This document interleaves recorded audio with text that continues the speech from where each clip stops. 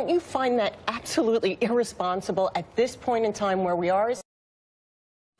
When you're talking about a woman who's a high-profile woman in the Well, Trump let me- let me- administration, let me to go after her without any evidence, without any facts, it just seems that it is so irresponsible. Well, first thing, I didn't go after her, and secondly, what I, um, what I certainly what I meant was I found it puzzling that she would deny something she was not accused of.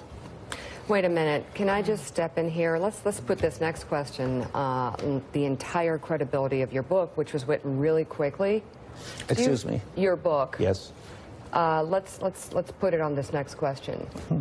Do you regret inferring anything about Nikki Haley? I, I, I didn't infer anything about Nikki Haley. What I inferred was that the president is um, um, is that m- many of the people around the president believe he is still involved with various women. No, but you said she spent a lot Hold of time in private time with. I- I got it. That- I that's, got it. that's I, I totally, totally. uh, I mean, that's exactly what people report. And now, and specifically, that was about her bid to become the Secretary of State.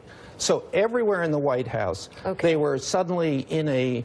In, a, in, in, in quite a panic that this was actually happening, Michael, which is why they pushed Pompeo she out. has embraced it. Um, I, I'm going to go as far as to say that you might be having a fun time playing a little game, dancing around this, but you're slurring a woman.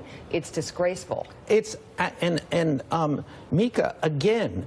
She has been accused of nothing. She has decided to deny what she has not been accused of. Right. Certainly, I didn't accuse her of this. But wait, are you, are you I- I- suggesting you that? Are you what? suggesting the language is not uh, ambiguous in any way in the, the things that you've said and the way you've Come on. stated Are, are you kidding? You're on the set of Morning Joe. We don't BS here. Well, I, what's read me the language. Tell- Are you tell- kidding me? I- I'm not reading Well, you we could anything. play the Bill Maher If you don't get it, and you don't get Yeah, what we're the- talking the- about, I- I- I'm sorry. this is- this is this is- awkward. You're here on the set with us, but we're done. Michael Wolff, thank you. We're going to go.